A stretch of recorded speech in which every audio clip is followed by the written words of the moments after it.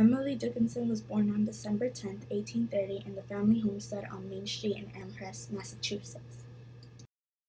This here shows Dickinson's home in North Pleasant Street, where she lived during some of her lifetime. In this picture, it shows her older brother Austin and her younger sister Lavinia, including Emily Dickinson. Here is a quote that Dickinson wrote that comes from one of her poems called Hope is the Thing with Feathers, and it reads Hope is a thing with feathers that perches in the soul and sings the tunes without the words and never stops at all. This is Emily Norcross, who was born on July 3rd, also known as Emily Dickinson's mother. And here is Edward Dickinson, born in 1803, who was also the father of Dickinson. Dickinson attended Amherst Academy for about seven years before entering Mount Holyoke Female Seminary in 1847. She stayed at that seminary for one year, the longest time she spent away from home. Here shows one of the poems Dickinson wrote, which is I Heard a Buzz Fly.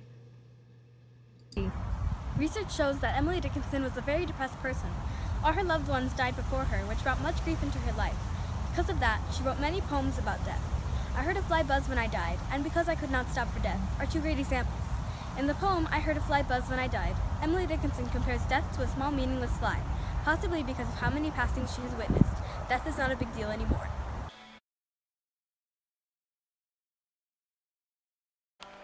Hello, sweetie. I'll be leaving tomorrow to Boston for the first legislator meeting.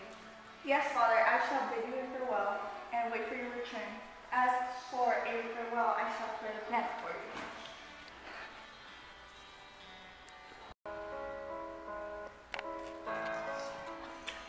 How nice. I shall bring back gifts for the family from my trip. Don't let your mother get lonely. All right, I got it, Father. Thank you.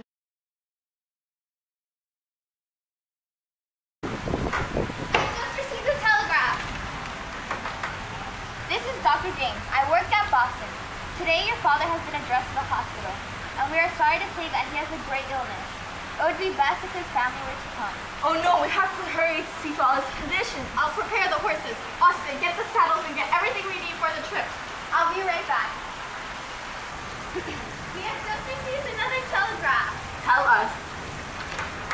I am very sorry to tell you this news by telegraph, but your father has passed. Oh no, we are too late. Thank you for coming to my husband's funeral. This loss is very tragic for my family, and we appreciate your support.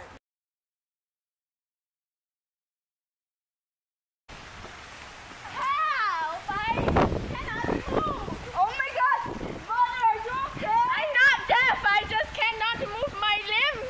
Alright, we'll take you to a hospital. I told you I am not deaf.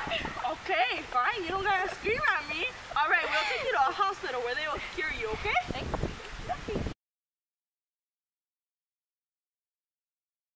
Because of the stroke your mother had seven years ago, your mother has been paralyzed for most for most of her body. And because of that, it has affected her body very severely and resulting in her passing. I am very sorry.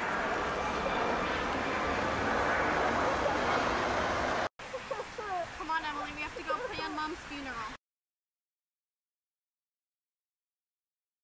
Move into the house in Massachusetts where we can start a new life together. That's a brilliant idea. We'll do it in a few months. Oh, how exciting this is.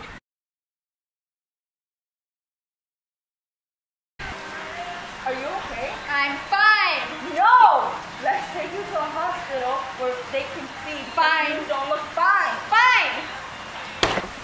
Lord Otis has developed a very serious illness. And he's in a very vulnerable position right now. Will he survive? No, the illness is slowly working through his body and spreading. No! You have to do something. Do anything. Everything, everything we try will just make it worse. How long does he have? He only has a few hours since he came into the hospital.